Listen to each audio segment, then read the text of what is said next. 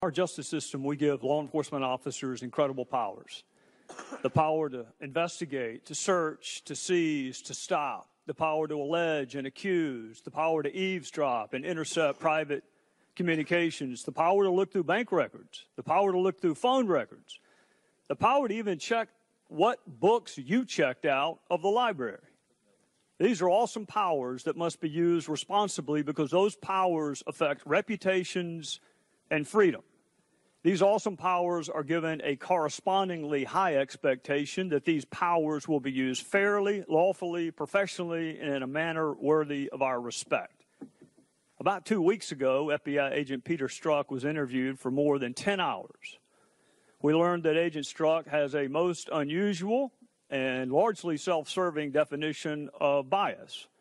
Agent Strzok, despite the plain language of his text and emails, despite the Inspector General's report, and despite common sense, doesn't think he was biased.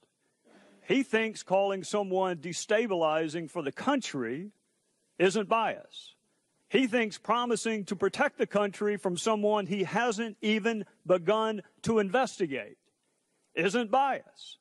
He thinks promising to stop someone he is supposed to be fairly investigating from ever becoming president isn't bias. He thinks talking about an insurance policy to keep someone from becoming president isn't bias. That's for one of the folks he was investigating. He has a different set of rules for others that he's investigating. Agent Strzok thinks saying someone he is allegedly investigating should be elected president 100 million to zero before he ever interviews her. He doesn't think that's bias. Agent Strzok thinks pronouncing someone innocent before bothering to interview more than 30 different witnesses isn't bias. He thinks claiming you can smell the Trump supporters isn't bias, but he doesn't say a single solitary word about being able to smell the support of any other candidate. To him, that isn't bias. The moment special counsel Bob Mueller found out about Peter Strzok's text and emails, he kicked him off of the investigation. But that was a year and a half too late the text and the emails may have been discovered in May of 2017, but the bias existed and was manifest a year and a half before that, all the way back to late 2015 and early 2016. So it wasn't the discovery of text that got him fired. It was the bias manifest in those texts that made him unfit to objectively and dispassionately investigate. So if the bias existed in late 2015 and early 2016, and it did, his unfitness to investigate existed then as well. Agent Strzok struggled to define bias for the better part of 10 hours. For the rest of us, bias is the prejudging of a person, a group, or a thing. It usually has a negative connotation, but it is a preconceived position or a prejudgment. It is the making up of your mind ahead of time based on anything other than the facts, and that is exactly what he did. Bias is saying Hillary Clinton should win the presidency a hundred million to zero when she was still under investigation, wasn't even the nominee, hadn't been interviewed, and 30 other witnesses had also not been interviewed. In March of 2016, Agent Strzok had Clinton winning 100 million to zero, even though the investigation was far from being over. That is the prejudging of someone's innocence before all the evidence is in.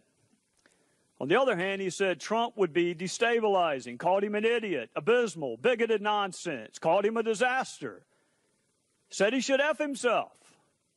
Strzok promised to stop Trump from becoming president before the investigation even began. He talked longingly of Trump resigning two months after he was inaugurated and well before the special counsel investigation even began. Strzok even talked about impeachment the day special counsel was appointed. That is prejudging guilt, it is prejudging punishment, and it is textbook bias. We live in a 50 50 country and we accept that. But we're a 100% com- country when it comes to having law enforcement that doesn't prejudge innocence before investigations are over and doesn't prejudge guilt and punishment before an investigation even begins. Agent Strzok had Hillary Clinton winning the White House before he finished investigating her. Agent Strzok had Donald Trump impeached before he even started investigating him. That is bias. Agent Strzok may not see it, but the rest of the country does, and it's not what we want, expect, or deserve from any law enforcement officer, much less the FBI. A fair, bias free investigation is not a Republican or Democrat issue, it's an American issue, or at least it used to be. Thank you, Mr. Chairman. Um, Agent Strzok the FBI investigation into potential Russia collusion with the Trump campaign began on July 31st, 2016. You uh, drafted the originating document. You approved the originating document. You were the point of contact on the originating document. And the FBI has represented to Congress that nothing from an investigative standpoint with respect to Russian collusion and the Trump campaign began before July 31st, 2016. But 10 days before the investigation even began, 10 days before you drafted the originating document, approved the originating document, with the point of contact on the originating document, 10 days before the investigation began, which the department you work for says nothing was done before July 31st. You said Trump is a disaster. I have no idea how destabilizing his presidency would be. And because you struggled a couple of weeks ago with a word that I thought a commonly accepted definition, I'm going to go ahead and give you the definition of destabilizing. The first one kind of is obvious it's to make unstable. The second one caught my attention, the second dictionary definition. To call something such as a government to be incapable of functioning or surviving. That's a pretty significant allegation to make 10 days before you even began to investigate someone. So that was before, before July 31st. I want to ask you in that first week, we'll go ahead and up it to eight days, between July 31st and August 8th, how many interviews did you conduct related to the alleged collusion between Russia and the Trump campaign?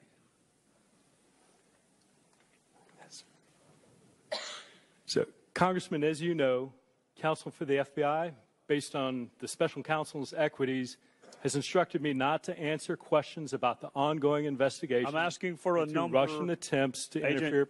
Agent Strzok, I'm asking for a number. I haven't gotten to the names. How many people had you investigated, had you interviewed between the beginning of it on July 31st and August the 8th? It's an eight day time period. We're a week into an investigation. How many people had you interviewed?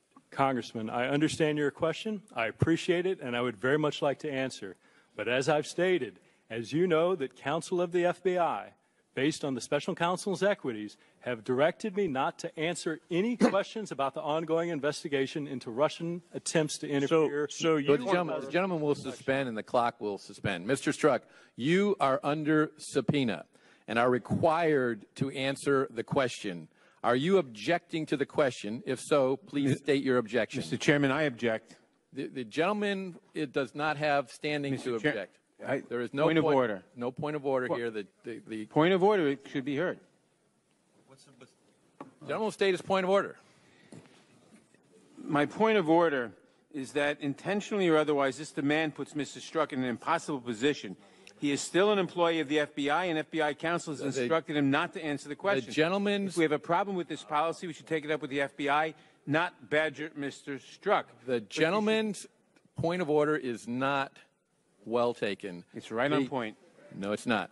The Mr. Strzok, are you objecting to the question? And if so, please state your objection. Mr. Chairman, two things. One, I do not believe I am here under subpoena. I believe I am here voluntarily. Second, I will not, based on direction of the FBI to me, based on that, I will not answer that question. Because it goes to matters which are related to the ongoing investigations being undertaken by the special Mr. office. you have not stated a l- valid legal basis for not responding to a question directed to you by a member of the United States House of Representatives, and you are overruled. Point of order, Mr. Chairman. Your, uh, let me let me continue. Your testimony is essential to this hearing and to our oversight and information gathering functions with regard to the actions taken and decisions made by the Department of Justice and the Federal Bureau of Investigation in 2016 and 2017. I am specifically directing you to answer the question in response to our subpoena, notwithstanding your objection. Point of order, Mr. Chairman. Mr. Strzok, please be advised that you can either comply with the committee's directive to answer the question or refuse to do so, the latter of which will place you at risk of a contempt citation and potential criminal liability. Point of Do order. you understand that? Point of order, Mr. Chairman. The question is directed to the witness. And I have a point of order before he answers the The, question. the- the point of order is not well taken until You don't know what the point of order is. You can't say it's not well the, taken. the point of order. The, the, the witness will answer the question.